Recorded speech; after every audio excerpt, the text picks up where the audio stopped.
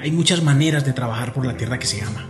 Siempre he querido entregarle toda mi capacidad y habilidades al desarrollo de Risaralda. Y he encontrado una oportunidad para hacerlo si obtengo la confianza ciudadana para ser gobernador del departamento. Tanto amor por esta tierra me llevó a trabajar desde muy joven por este territorio. Fui elegido comunero de Boston a los 18 años, fui elegido el concejal más joven de Pereira a los 21 años y luego presidí la Asociación Risaraldense de Concejales. En la última década, aunque estuve alejado de la política, opté por cultivarme como persona, profesional, esposo, padre y empresario. Crear empresa ha sido una experiencia llena de enseñanzas y desafíos. Diez años después, esa combinación entre trabajo, hogar, emprendimiento y felicidad me tienen aquí frente a ustedes para invitarlos a construir juntos los sueños de Risaralda.